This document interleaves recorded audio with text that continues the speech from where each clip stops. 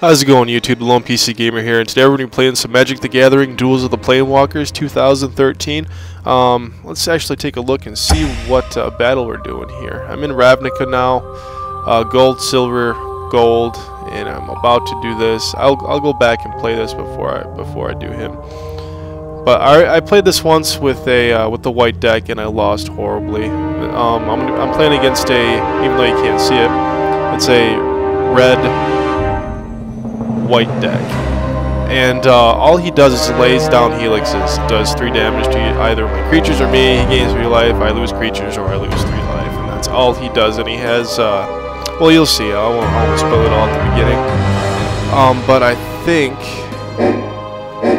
I'm going to try out blue here.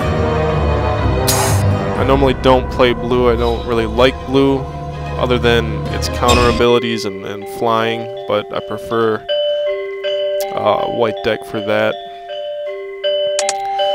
Let's see, we start off two mana here. We got a We got an artifact, a ring of Evos Isle. Her, an instant target. That's that might help me out later. I'll save that one. Draw cards equal to the number of cards in an opponent's hand.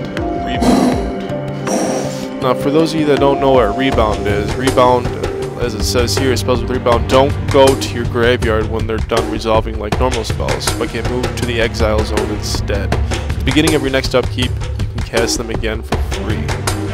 I'm going to keep this and see what happens. Looks like I'm going first, so we'll lay down our first land here. And why not? Get a defender out, even though I know I'm not going to need it.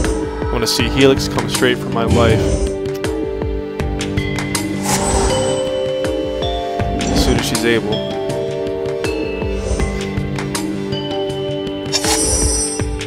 This, the computer's not worried about its life because it knows it has, uh, I'm assuming it knows it has those cards in it. It can think like a human.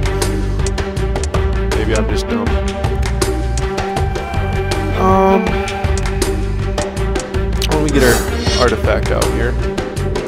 Can't attack, can't equip it, no more mana left. Why would I attack?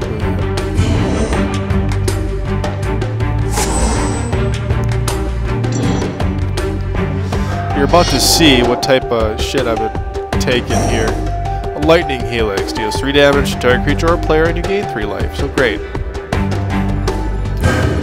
He does 3 to me, he gains 3, so that puts me at 17 nothing, so he ends his turn.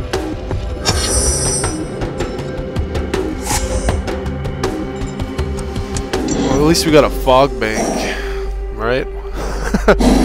Alright, so we got three mana to use. He has no creatures, so that's pretty much ineffective. He has nothing else, so that's ineffective. I can equip him onto him. Well, leaves me with two mana left. I can get him out. Now, that I think about it, I probably should have waited. No, it's a defender, never mind. I'm skip attack and wait till our next turn, until he gets a 1-1 counter put on him. Yeah, there goes the lightning helix. He's to destroy that. Yeah, I don't know why I stopped. I have no mana.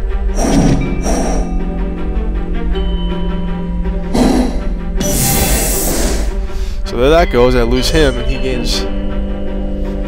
So it looks like I gotta be careful on what I actually lay down here.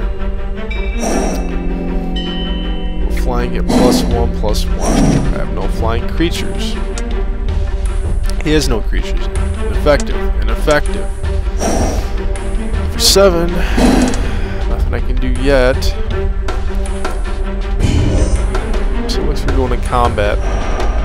And that's all I can do right now is attack him. Bring him down to 25. Whoop-de fucking do. This has to be the most annoying battle that I've uh, came across in this game so far. And I'm not that far into it. Maybe, I don't know, maybe 10 duels, something like that.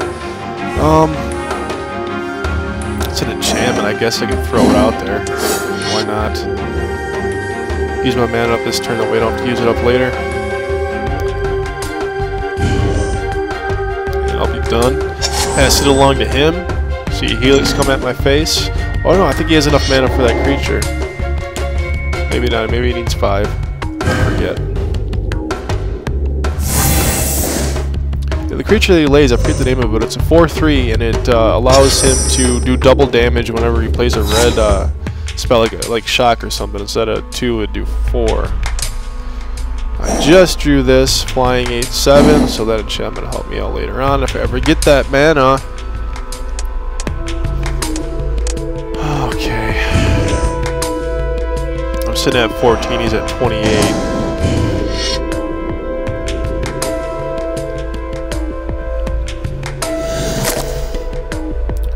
Yay! Yay!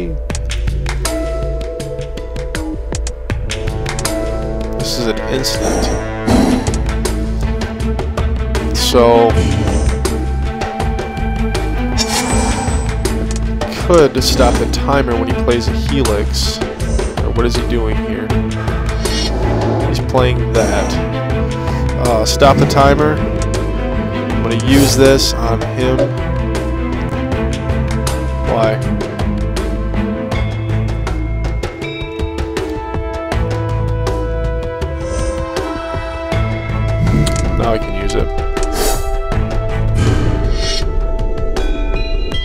So that goes away. He used all his mana up. Gives a little bit of breathing room here. Not much. I know it looks uh, pretty bad right now. So I got four mana to use. Nothing I can play with. Um... so looks like I'm just gonna have to attack again. Hope for the best. I can't be preventing stuff like that all the time either, so I know it's just a matter of time before I dwindle down. Yeah, he has like unlimited helixes in there, so...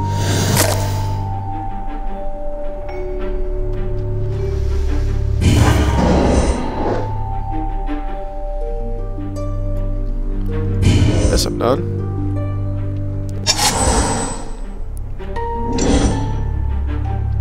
What are you playing? There it is. Uh, I got nothing to play with anyway. Nothing to prevent it. So he comes into the battlefield. Let me show you the card here. Uh, Fire Servant costs 5 for 3. If a red instant or sorcery spell you control would deal damage, it deals double damage instead. My turn. Let's draw a card here. Another plains. That gives us 5. The only thing I can play is this. You could block. It's not going to do anything anyway. My guess is he's just going to take this damage that I dish out to him. He's not going to sacrifice that.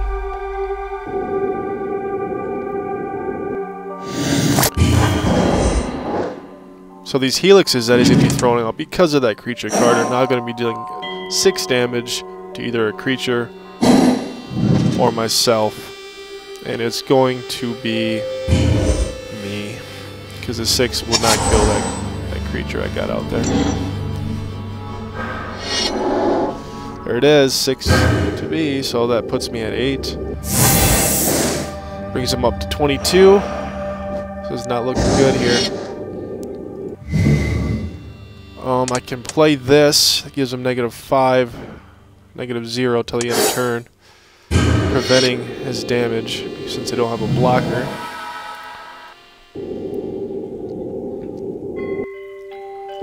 So nothing happens there.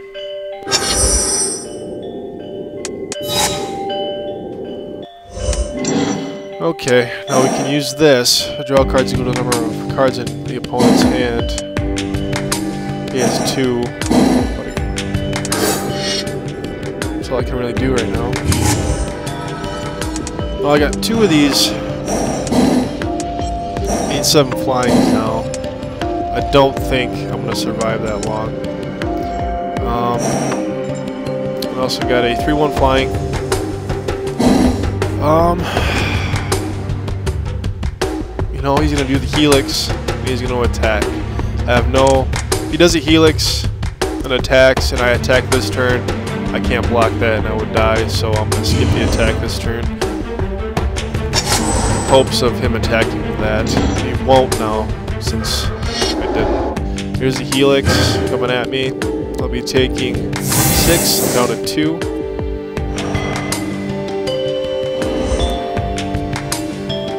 He'll end his turn.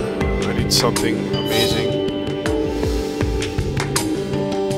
Um...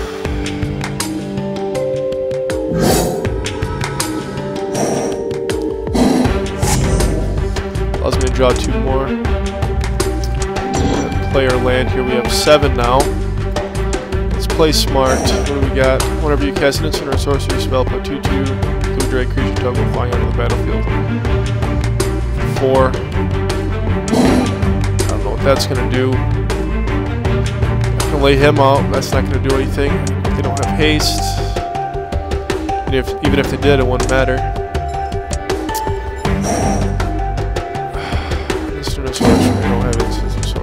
So, let's go out in style here and bring on an 8-7 flying.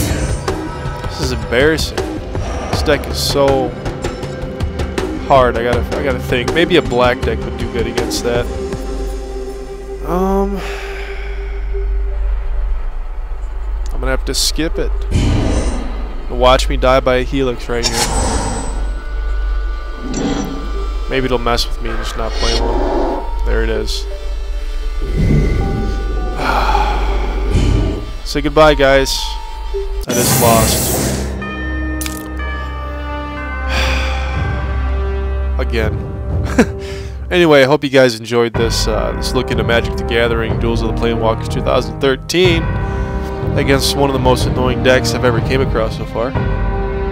If you enjoyed the video, please hit the like button, and if you watched this far, go ahead and hit that subscribe button if you haven't already. Uh, keep an eye out for some of my upcoming gameplay videos and some unboxings that I'm going to be doing for Magic the Gathering Gatecrash series, a new series that just came out. So, I uh, hope you guys have a good day and take care.